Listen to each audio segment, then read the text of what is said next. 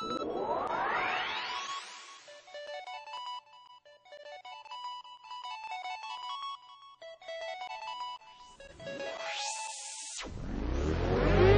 on Lebanon Ernie. First down, pitch back to Barner, and Barner across the 50, and he is immediately into Pirate territory with a gain of 25.